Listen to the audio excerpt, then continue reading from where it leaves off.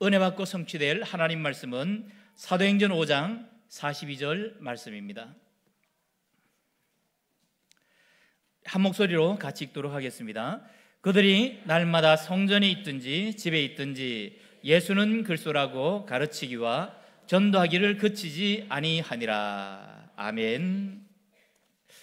어, 다 같이 신앙 고백 드리겠습니다. 주는 그리스도시요 살아계신 하나님의 아들이십니다.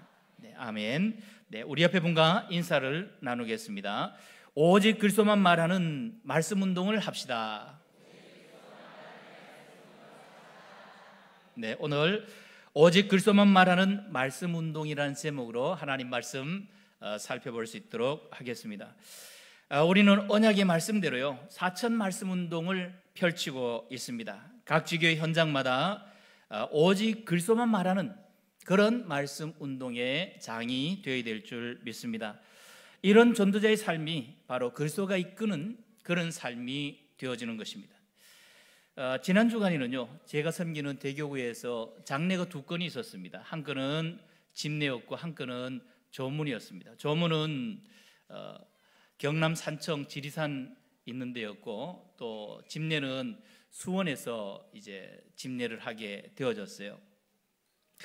늘 그렇게 말씀을 드립니다만 조문이 되었던 집례가 되었던 예배 때마다 어, 말씀을 꼭 복음을 전하게 되어지죠. 예. 어, 두분 다 이제 예수님 믿고 돌아가셨기 때문에 하나님이 그 영혼을 불러 가셨다, 소천하셨다 말씀을 드렸어요. 그리고 영원한 길에 대해서 이 세상 나라가 아닌 영원한 나라로 인도하심을 받았다 말씀을 드렸습니다. 그러면 어떻게 사망했다 표현하지 않고 소천했다고 하는 하나님이 부르시, 하나님의 부르심을 받았다고 하는 그런 부름에 응할 수 있느냐? 예수가 그리스도신 사실을 믿어야 된다. 영원한 하나님의 나라로 인도를 받으셨다고 하는데 어떻게 그 나라로 인도를 받을 수 있는가? 예수님을 그리스도로 믿어야 된다 하는 사실을 이제 입관 때부터 쭉 말씀을 드리죠. 그런데 이 두 가정에서요, 어, 어, 예수님을 믿고 또 교회에 등록한 가정들이 각각 생겨났는데 어, 경남 산청에서 조문 예배 때 말씀을 들었던 그 유족 가정이 지방 교회 또 이렇게 등록을 해서 신앙생활 하게 되어졌고 또 수원에서 집례 때 어, 예수님을 영접한 우리 집사님 어, 동생 부부가 지난 주일날 우리 교회까지 등록을 했어요. 등록하고 어, 인사를 드린다고 올라와서 이렇게 말씀도 나누고 하는 가운데 우리 집사님이 그런 이야기예요. 목사님, 우리 언니가요, 목사님 팬이에요. 그래요. 어, 전 교회에서 팬이라는 소리 처음 들었거든요. 어, 아, 장례 예배 이렇게 잘 인도해도 팬이 생기는구나. 예, 그렇게 생각을 했습니다. 어떻게 해서 저를 어, 저의 팬이 되셨는가 여쭤봤어요. 그랬더니만 목사님이 전하는 말씀에 신뢰감이 갔다. 그래서 예수님을 영접하게 되어졌고 또 교회까지 등록을 하고 본당 헌금 237 헌금 이게 뭐냐? 우리 집사님이 설명을 해 주니까 그 헌금도 나도 드리고 싶다. 그렇게까지 이렇게 고백하는 것을 어, 들어봤습니다. 그런데 경남 산청에서 예배를 이제 조문 예배를 드렸는데요. 거기는 전사님 가정이었거든요. 전도사님 시댁 가정이었는데 어, 지방 교회에서 어, 이제 집례를 하셨대요. 그런데 어, 입관 예배, 발인 예배, 학연, 하관 예배를 드리면서 어, 계속해서 위로의 말씀만 했고 한 번도 어, 이 복음을 그리스도를 말하지 않더라 그런 이야기를 했습니다. 제가 가서 어, 이제 조문 예배를 드리면서 예수 그리스도에 대해서 말씀을 드리고 영접하는 그런 시간을 가졌거든요. 네, 영접하셨던 그 가족이 이제 교회에 등록하셨다는 말씀을 들었습니다. 오늘 저와 여러분들은 각 지교회에서 또 어떤 모임이 되어졌든 간에 우리에게 맡겨주신 영혼들에게 우리가 해야 할 말이 있다고 한다면 그것은 예수가 그리스도 모든 문제 해결자 이 복음만 말하게 되어지게 되면 어떤 상황 가운데 있더라도 네, 복음에는 능력이 있잖아요. 하나님의 말씀에 능력이 있기 때문에 하나님께서 그 마음 문들을 열어주시고 또 이렇게 영접하게 되어지는 하나님의 자녀가 되어지는 그런 응답과 축복이 있을 줄 믿습니다. 오늘 본문의 전반부를 보면요. 아나니아와 삽비라 사건이 나오죠.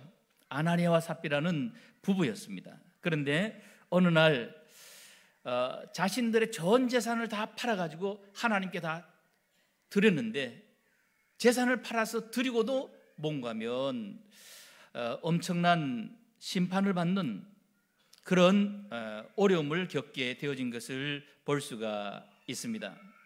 이 부부가 애초에는요 전 재산을 하나님께 다 드리려는 그런 마음으로 재산을 팔았 죠. 그런데 재산을 팔고 보니까 아까운 마음이 들어가지고요 재산의 일부를 감춰두고 하나님께 다 드리지는 못했어요. 이것이 화근이 되어졌습니다. 성경에 보니까 이것은 사람에게 거짓말한 것이 아니라 하나님을 속인 것이다. 그리고 주의 영을 시험한 것이라고 그렇게 무서운 말씀을 한 것을 볼 수가 있습니다. 오늘 우리 하나님의 자녀들은요, 하나님 앞에서 한 약속은 아까워도 또 손해가 되어져도 하나님 앞에 믿음으로 드리고 약속을 지키는 것이 축복의 또 근원이 되는 줄 믿습니다. 자, 그런데 이 사건 앞에 아나니와 삽비라가요. 이런 충동적인 마음을 가질 수밖에 없었던 일들이 있었죠. 4장 사도행전 4장 36절 37절입니다. 구브로에서 난 레위족 사람이 있으니 이름은 요셉이라 사도들이 일컬어 바나바라 하니 그가 밭이 있음에 팔아 그 값을 가지고 사도들 발 앞에 두니라 그랬습니다. 바나바라는 사람이요 자신의 재산을 팔아 가지고 하나님 앞에 전부 혼신하는 그런 좋은 어, 믿음의 본을 보여주고 있습니다. 그런데 이 초대교회는 보면 이런 헌신자들이 한두 사람이 아니었어요. 자기의 전 재산을 팔아서 하나님께 몽땅 다 드리는 그런 믿음의 사람들이 있었던 것을 알 수가 있는데요. 당시 초대교회의 성도들의 그 구성원들을 이렇게 보면 다 이렇게 능력 있는 그런 성도들이 아니었어요. 대부분이 구제 대상자들이었습니다. 하루 세끼 밥 먹고 살기가 어려운 그런 사람들이었어요. 그런데 성도들 중에 일부였지만 소수였지만 자기의 전 재산을 하나님께 드려서 함께 먹고 살고 하는 네, 그런 헌신자들이 있었던 것을 알 수 있습니다. 그 대표적인 사람이 바로 바나바와 같은 그런 사람들이었습니다. 이런 바나바의 믿음의 행위를 본 이 아나니아와 삽비라 이 바나바의 광경을 지켜봤던 이 부부가요 5장에 나오는 어, 어, 아나니아 삽비라 사건이 네, 되어진 것을 알 수가 있는데요. 결국은 이 아나니아 삽비라는 하나님 앞에 정말 처음에 가졌던 그 믿음대로 실천하지 못하고 또 바나바와 같은 그런 실행을 하지 못하고 결국은 하나님의 심판을 받게 된 사건이 5장에 들어서 이렇게 나오는 것을 알 수 있습니다. 5장 1절 말씀입니다. 아나니아라 하는 사람이 그 아내 삽비라와 더불어 소유를 팔아 그 값에서 얼마를 감추매 그 아내도 알더라 얼마만 가져다가 사도들의 발 앞에 두니 베드로가 이르되 아나니아야 하니 사탄이 내 마음에 가득하여 내가 성령을 속이고 땅값 얼마를 감추었느냐 땅이 그대로 있을 때에는 내 땅이 아니며 판 후에도 내 마음대로 할 수가 없더냐? 어찌하여 이 일을 내 마음에 두었느냐? 사람에게 거짓말한 것이 아니요 하나님께로다. 아나니아가 이 말을 듣고 엎드러져 혼이 떠나니 그 이 일을 어, 듣는 사람이 다 크게 두려워하더라.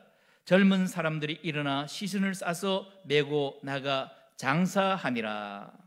네.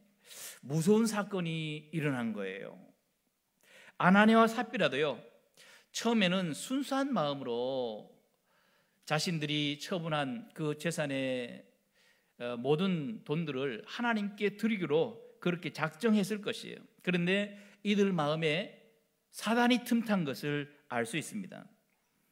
재산을 팔고 보니까 아까운 마음이 들었던 것이죠. 내 것, 나 중심, 물질 중심, 옛 틀에 사로잡히게 된 것입니다. 결국 이들은요, 돈 잃고 생명 잃고 전부를 다 잃어버린 것을 알 수 있어요. 아나니아가 하나님께 거짓말한 것이라는 말이 베드로에서 입에 베드로의 입에서 떨어지는 그 순간에 아나니아의 영혼이 떠나가 버렸습니다. 사람들이 두려워하는 가운데 이 아나니아의 시신을 장례 치렀죠. 그런데 3시간쯤 후에 남편이 죽은 줄도 모르고요. 아나니아의 아내 삽비라가 들어왔습니다. 그때 베드로가 삽비라에게 땅 판 것이 이것뿐이냐고 물었죠. 조금이라도 눈치 있었던 사람 같으면 조금이라도 영적인 눈치가 있었으면 베드로 앞에 무릎을 꿇고 하나님 앞에 회개했을 거예요. 그런데 이 삽비라가 조금도 주저하지 아니하고요. 예, 이것뿐입니다라고 당당하게 이야기를 했습니다. 삽비라의 말을 듣는 순간 베드로는요 호통을 치면서 너희가 어찌 함께 꾀하여 주의 영을 시험하느냐 하나님의 영을 시험하느냐고 호통한 것을 알 수 있습니다. 그 순간 삽비라의 영혼도 떠나가 버렸습니다. 즉사한 것이죠. 선한 의도로 헌금하려고 했다가요. 하나님을 속인 죄로 아나니아 삽비라는 숨겨놨던 돈 한 푼도 써보지 못하고 이 세상을 떠나고 만 것입니다. 이것을 보고 쌍묘의 비극이라 누가 그런 이야기를 하셨어요. 네, 쌍묘의 비극. 하루 아침에 네, 남편과 아내가 심판을 받아서 죽임을 당한 음, 이런 사건입니다. 순간 악령에 잡힌 그런 결과였죠. 하나님의 자녀는요, 악령에 끌리던 옛 체질에서 완전히 벗어났어. 이제는 예수 그리스도가 우리를 이끄시는 그리스도가 이끄는 그런 믿음의 삶을 살아야 될 줄 믿습니다. 신앙생활이라는 것은 내 안에 그리스도가 사는 삶이에요. 이제는 나는 죽었어요. 그리스도 안에서 나는 죽었고 내 안에서 그리스도가 사는 삶 이것이 참된 신앙 생활입니다. 그 그리스도께서 성령으로 내게 감동해 주시는 대로 나아가면 성령 충만한 삶이 되는 것입니다. 오늘은 사도행전 5장 말씀을 살펴보면서요. 그리스도가 이끄는 삶을 사는 그런 성도들이 되시기를 축원합니다. 첫 번째로 생각해 볼 것은 현장을 변화시키는 말씀 운동입니다. 초대교회는 사도들의 이 말씀 운동을 통해서요. 수많은 사람들이 주님께로 돌아왔습니다. 14절에 보니까 믿고 죽기로 나오는 자가 많더니 남녀의 큰 무리더라 그랬어요. 많은 사람들이 많은 사람 정도가 아니라 무리로 때를 지어서 이렇게 주님께로 나오는 이런 역사가 일어난 것을 알 수 있어요. 그런데 당시에 많은 사람이 주님께로 돌아왔지만요. 현장은 만만하지 않았어요. 수많은 문제와 사건 또 혼란이 있었던 것을 알 수 있습니다.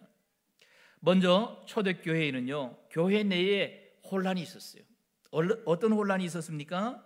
5장 11절에 보니까 온 교회와 이 일을 듣는 사람들이 다 크게 두려워하니라 그랬습니다. 아나니와 삽비라 부부 사건으로요. 교회에는 내부적인 문제가 있었습니다. 한 부부의 헌금 문제가 죽음 사건이 되자 교회는 혼란에 쌓이게 된 것을 알 수 있습니다. 자, 말씀 운동의 목적은 교회 내에 이 아나니아와 삽비라 같은 이런 문제, 이런 혼란이 있다고 하더라도 잘못된 신앙을 바로 잡아주는 것이 말씀 운동이에요. 그리고 영적인 혼란을 막기 위해서 우리가 말씀 운동을 하는 것입니다. 그리고 말씀 운동의 더 적극적인 이유가 뭡니까? 신앙생활의 옛 틀을 완전히 벗어버리고 새 틀 인생 살도록 하는 것이 말씀 운동의 목적입니다. 그런데 말씀 운동 그 현장에 갔다가 이부 순서를 가끔 하죠. 우리 모든 성도들은 말씀 운동 전부 내가 하든지 또 내가 참석하든지 거의 다 하고 계시는 줄 압니다. 일부는 당연히 말씀 운동이죠. 말씀을 잘 듣고 2부 순서가 진행이 되어지는데 그 2부 순서에 교회의 부정적인 이야기, 또 성도들의 흉대는 이야기, 네. 이런 말들을 하게 되어지게 되면 말씀 운동의 그 참된 목적과는 네, 상반되어지는 네, 말씀 운동의 참된 어, 의미가 깨어지는 그런 시간이 되고 많은 것입니다. 오늘 귀한 우리 성도 여러분들 말씀 운동을 분명히 어, 내가 열고 있고 또 참석하고 있는데요. 저나 여러분들은 그 말씀 운동의 장에서 어떤 문제가 되는 일이 있다고 하더라도 말씀을 잡고 기도하고 포럼하는 가운데 새로운 답을 문제에 대한 답을 얻고 또 흉과 허물이 되는 것을 전부 감춰줄 수 있는 그런 장이 되어야 될 줄 믿습니다. 문제를 가지고 그 장에 그 자리에 나왔다 하더라도 말씀을 나누는 가운데서 또 기도를 하는 가운데서 답을 얻고 평안을 누릴 수 있는 그런 말씀 운동의 장소가 되기를 바랍니다. 초대교회는요, 교회 안에도 이런 혼란이 있었던 반면, 교회 밖에도 혼란이 극심했던 것을 알 수 있어요. 5장 15절 16절입니다. 심지어 병든 사람을 메고 거리에 나가 침대와 요 위에 누이고 베드로가 지날 때에 혹 그의 그림자라도 누구에게 덮일까 바라고 예루살렘 부근에 수많은 사람들도 모여 병든 사람과 더러운 귀신에게 괴로움 받는 사람을 데리고 와서 다 나음을 얻으니라 그랬습니다. 당시에는 먹고 사는 문제뿐만 아니라 불치병, 난치병, 질병 때문에 어려움을 겪는 그런 사람들이 많이 있었어요. 게다가 귀신에게 괴로움 받는 사람들이 허다하게 있었던 것을 알 수 있습니다. 다시 말하면 교회 밖은요 온통 인간이 가지고 있는 12가지 문제 여기 전부 잡혀 있었던 것을 알 수가 있습니다. 나 중심, 물질 중심, 성공 중심, 무속, 점술, 우상 그리고 불신자 가지는 여섯 가지 이 불신자 상태의 문제 가운데서 하나같이 오름을 겪는 그런 현장이었어요. 말씀 운동의 목적이 뭡니까? 이런 문제를 안고 있는 이런 어려움을 겪고 있는 이들이 여기에서 벗어나올 수 있도록 말씀으로 답을 주는 것이에요. 이 문제 가운데서 참된 해답을 얻고 믿음으로 승리할 수 있도록 하는 것이 말씀 운동의 목적입니다. 오늘 우리 귀한 성도 여러분들도 아직 영적인 문제에 시달리는 사람이 있으면요. 복음으로 답을 주고 참된 평안함을 얻을 수 있도록 도와줘야만 하는 것입니다. 그리고 삶의 복잡한 문제, 문제들이 다 있죠.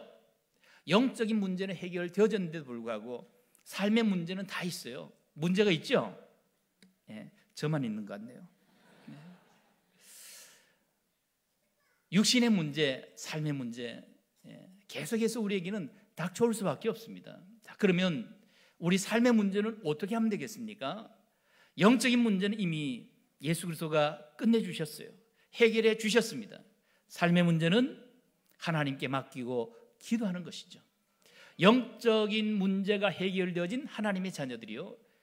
예수 그리스도의 이름으로 하나님께 맡기고 기도하게 되어지게 되면 영적인 문제 해결해 주신 하나님께서 우리 삶의 문제도 해결해 주실 줄 믿습니다. 초대교회는 병든 사람, 귀신에게 시달리는 사람, 이들을 데리고 왔어요. 말씀 운동하는 자리에 함께 말씀을 나눈 결과 어떻게 되어졌습니까? 다 나음을 얻으니라 그랬어요. 다 나음을 얻으냐. 말씀 운동의 현장에서 이런 치유의 역사가 일어나야 될 줄 믿습니다. 수많은 사람들이 수많은 문제를 가지고 모인다고 할지라도 말씀을 듣는 가운데 다 나음을 얻는 말씀을 듣는 가운데 다 답을 얻는 다 치유를 받는 그런 시간이 될 수 있도록 말씀 운동에서 참된 글소만 말하고 글소 안에서 답을 얻는 그런 장소들이 다 되기를 바랍니다.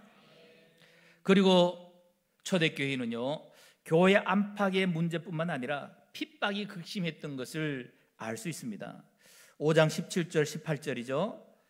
대제사장과 그와 함께 있는 사람 즉 사두개인의 당파가 다 마음에 시기가 가득하여 일어나서 사도들을 잡아다가 옥에 가두었더니 40절 41절입니다. 그들이 옳게 여겨 사도들을 불러 채찍질하며 예수의 이름으로 말하는 것을 금하고 놓으니 사도들이 그 이름을 위하여 능력 받는 일에 합당한 자로 여기심을 기뻐하면서 공의 앞을 떠나니라 그랬습니다. 초대교회는 말씀 운동으로 큰 부흥이 일어났지만요. 말할 수 없는 또 어, 핍박과 오렴이 끊이지 않았던 것을 알 수 있어요. 자유롭게 모여서 집회할 수도 없었어요. 복음을 자유롭게 선포할 수도 없었던 것을 알 수 있습니다.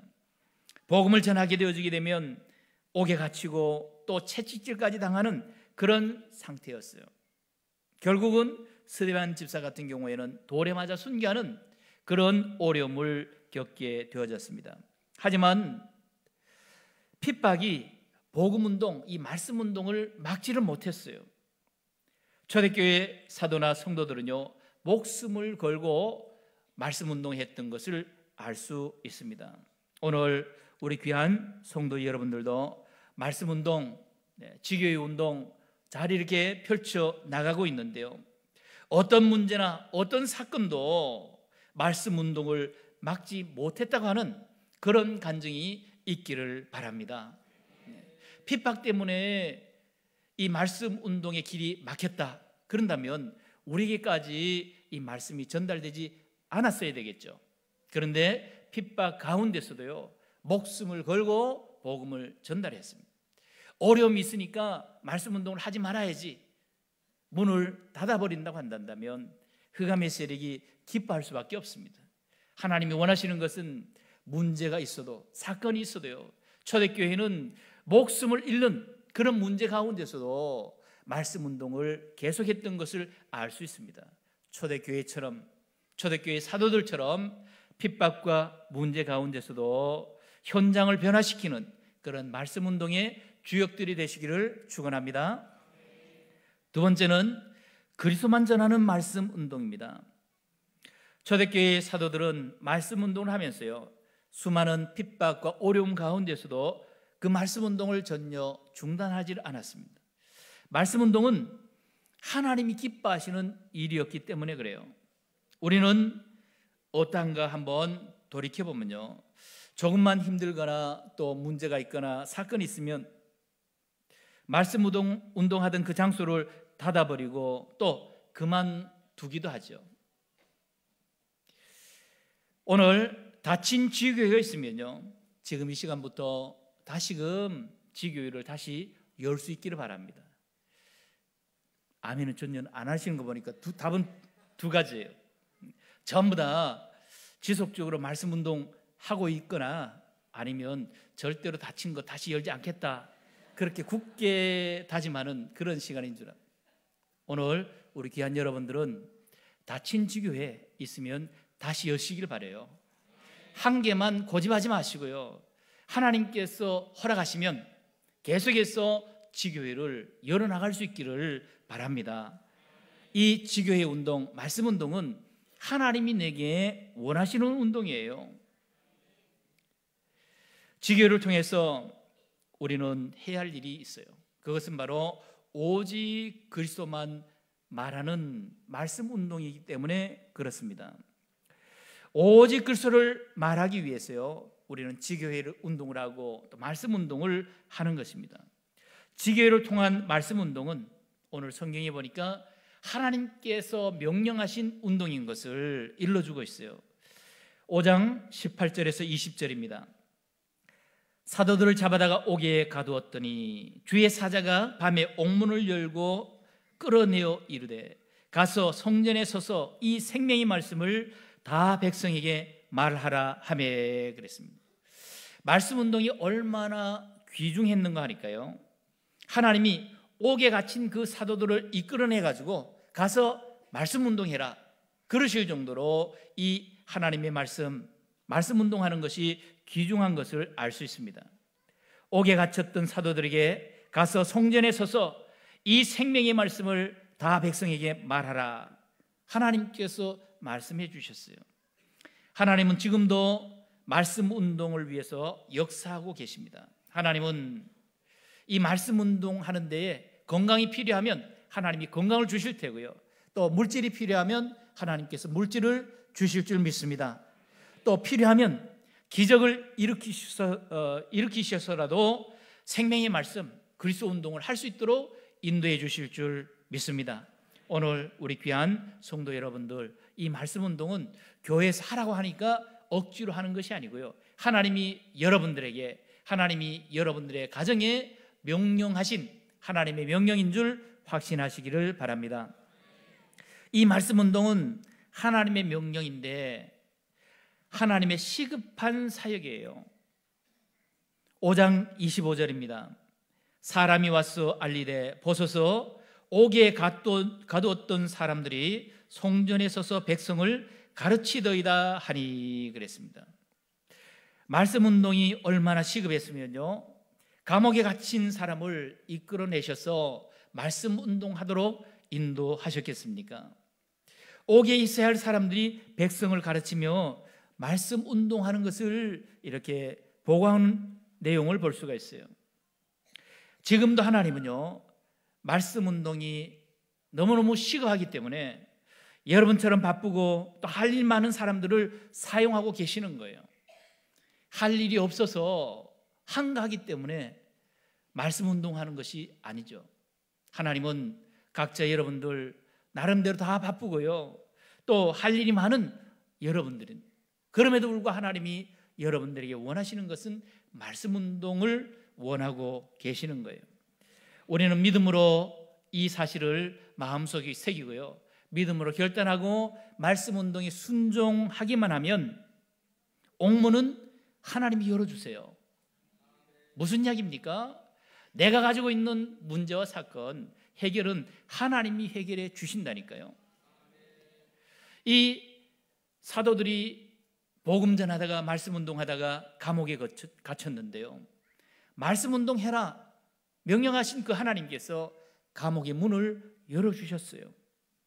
얼마나 시급했으면 하나님께서 우리에게 이런 말씀 운동을 명령하시고 또 사도들에게는 감옥의 문제를 열어 주셨겠습니까? 하나님은 분명히 우리에게도 문제도 있고 사건이 있는데 우리에게 말씀 운동을 명령하시면서요.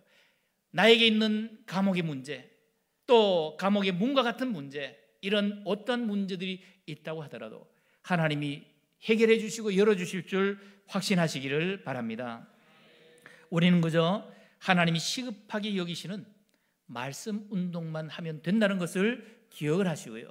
원단 메시지 주신 말씀 그대로 사천 말씀 운동의 주역들이 다 되시기를 축원합니다. 초대교회의 말씀 운동의 핵심은요. 예수님의 십자가와 부활이었어요. 5장 30절에서 32절입니다.